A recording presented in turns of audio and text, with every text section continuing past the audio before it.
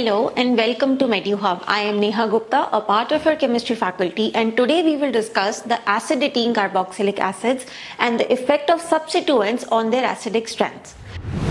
To understand this, we need to know why carboxylic acids are acidic. This is because of the presence of an OH group in carboxylic acids. This OH bond is polar because oxygen is electronegative. Hence, it pulls away the electrons and it facilitates the release of a proton. But to understand it better, we need to compare it with alcohols. Why are we comparing it with alcohols? We are doing that because alcohols also possess an OH group and hence by virtue of that, they should also be acidic. But which out of the two is more acidic? To understand that better, we need to see how alcohols and carboxylic acids ionize. Let us look at an alcohol first. CH3OH ionizes as CH3O minus and H plus. Now this is called the conjugate base of this alcohol. If this conjugate base is stable, that means this alcohol would like to stay in this ionized state and hence be acidic. So, to better understand if a given molecule or a compound is acidic, we need to see the stability of the conjugate base or the anion that is formed upon ionization of that molecule. Here, the negative charge is on oxygen and it is localized right? There is no special stability associated with the conjugate base of an alcohol. Let us see what happens in the case of phenol. Phenol ionizes to give this phenoxide ion, which is O minus and an H plus. Now, in the case of phenol, the negative charge on oxygen is delocalized due to the presence of this benzene ring here. We can draw the resonating structures to better understand this. Now this negative charge will move here giving a double bond on oxygen and this one will move here to give a negative charge here. We can further make the resonating structures where this negative charge will move here to form a double bond and this double bond will move here on this carbon to give a negative charge and so on and so forth. Hence, Compared to this alkoxide ion, the phenoxide ion is more stable. Hence, if you compare these two alcohols, phenol will be more acidic than methanol. Right? This was based on the stability of the respective conjugate bases. Now, if this conjugate base is stable, obviously it would not want to combine back with the proton to give this molecule. Right? Now we need to see why it is said that carboxylic acids are more acidic than alcohols. For that, again, we need to look at the conjugate base of the carboxylic acid. This carboxylic acid, acetic acid, dissociates as CH3COO minus and gives a hydronium ion which is H3O plus because water here is the solvent. Now let us look at the stability of this carboxylate ion which is the conjugate base of this carboxylic acid. This is a resonance hybrid of two structures. O minus and this charge can move here giving us another structure where carbon is attached to O minus here and we get a double bond here. So now what is it that is difference between the two? The difference between these two is that this conjugate base is stabilized by the resonating structures where the negative charge is coming on a more electropositive element but here the negative charge is coming on an electronegative element. So this is a better resonance compared to this one. Hence carboxylic acids are stronger acids than phenols as well as alcohols. So now we understand that carboxylic acids are stronger acids than alcohols. In fact, alcohols are even weaker acids than water and also we know how to judge the acidic strength of an acid. So for that we look at the conjugate base and look at its stability. If it is highly stable then the reaction will be favored in the forward direction and the release of proton will be facilitated. If it is not stabilized then it will be a weaker acid. Now let's see what happens if there is a substituent group attached to the carboxylic acid. For example the substituent group is an electron withdrawing group like a halogen X. Let me draw a few molecules for you to understand this better.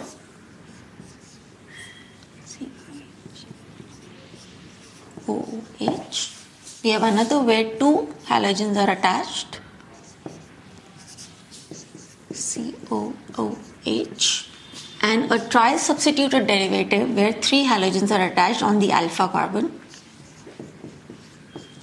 Out of these three carboxylic acids, this is the mono-substituted derivative, this is the di-substituted derivative, this is the tri-substituted derivative. Now what happens? A halogen has is a very highly electronegative element and it has a strong minus I effect.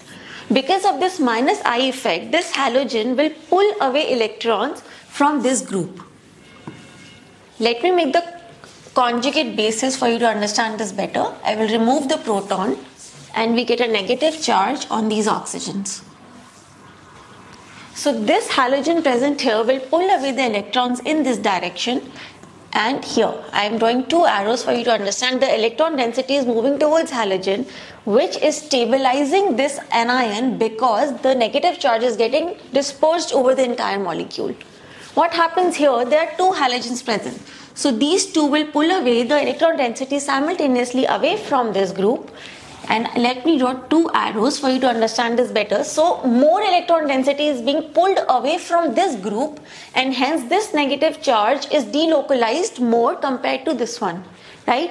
What happens in the third molecule? Here there are three halogen atoms. So the combined inductive effect of these three pulls away the electron density with more force. I'm drawing three arrows here for you to understand.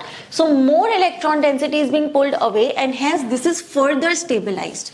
So out of these three compounds, this one is the most acidic and this one is the least acidic. You should also know that if a compound is more acidic, it means its acid dissociation constant will be very high and consequently its pKa value will be very low because pKa is minus log of Ka. So in case you ever encounter a pKa value, the stronger the acid, the lower will be the pKa value. Right? Now let us see what happens if an electron donating group is present. Let us take acetic acid where methyl group is the electron donating group because it has a plus I effect. Let us take a di substituted example COOH and an example where three methyl groups are attached. COOH. Now again to understand this better, let us make the conjugate bases of all these acids and see if they are more stable or not. We'll remove the protons, add a negative charge to oxygen, and now look at the stability of these conjugate bases.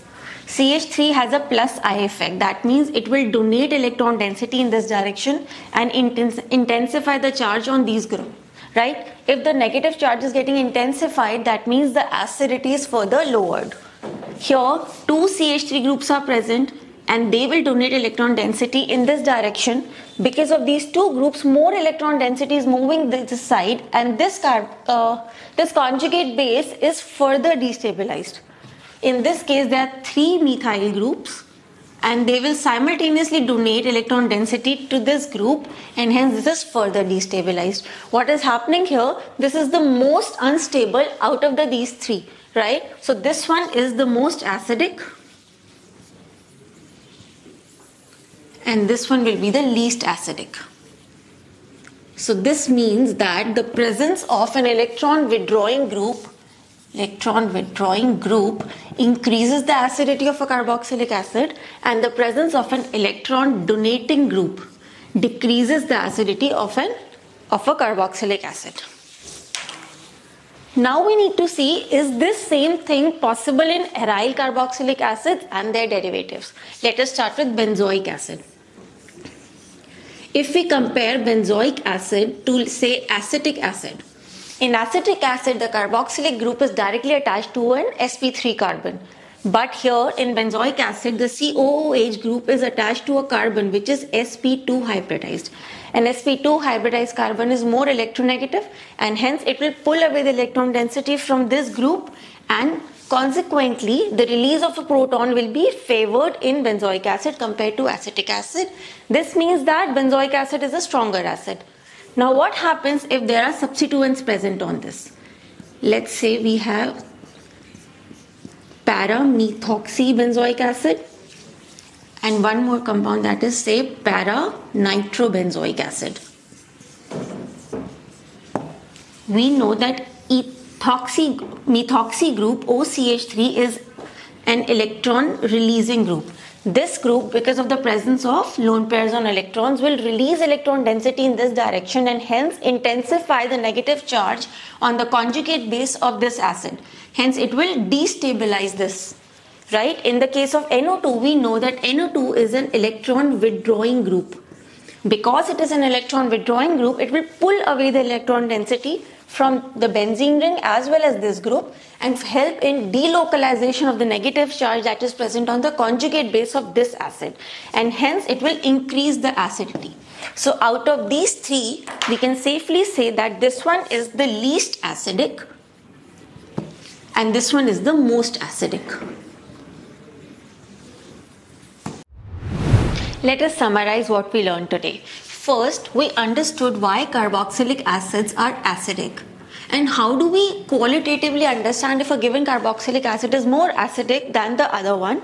We look at the stability of the conjugate base. The one that has a more stable conjugate base will be a stronger acid. So we can safely say that this most stable conjugate base comes from the strongest acid.